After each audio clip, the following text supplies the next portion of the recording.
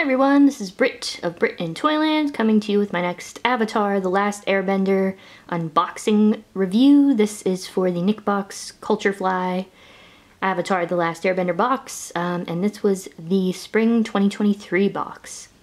Again, not sure what the theme is. We got Ember Island in the background, so perhaps that's the theme, but we shall find out.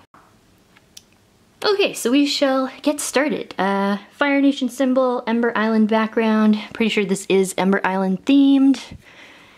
The card here, which we won't look at too closely, also kind of looks like it.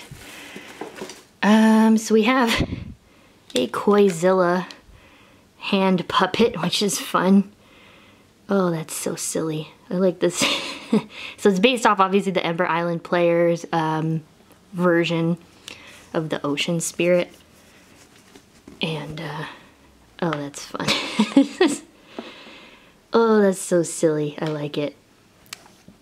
I'm a librarian and I uh, sometimes do like story times and stuff for the kids, so and we often use puppets, so this could be uh, this could be a fun addition. okay, next up. Oh, okay, this is a uh, Fire Flakes tub. Let's, yeah, Fire Flakes tub. That's fun. But it is essentially a little popcorn tub, which is neat. Fire Nation logo. They, they had, no, they didn't really have similar tubs in Ember Island players. They were more generic than that. Um, we have Choose Treachery, It's More Fun which is a button pin with uh, Ember Island Iroh. Very nice.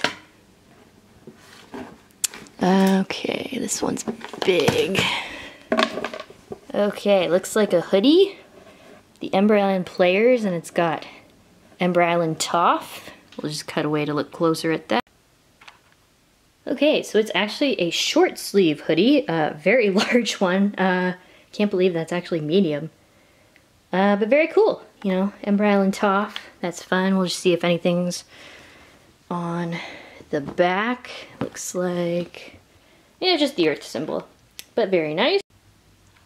Okay, so next up we have, oh, a wireless speaker with the micro USB charging cable included. And it's got the uh, some new Zuko art in front of Ember Island. Neat. Okay, then we have a sticky notepad in the shape of the Ember Island Blue Spirit head mask costume thing, which is fun. And I also, I just noticed about this Koizilla puppet that there's a tiny Zhao in his hand. It's a little hard to see. Oh my goodness. My dog does not care for that. Okay, so last but not least, we get another scroll, and this is for the Ember Island Players poster.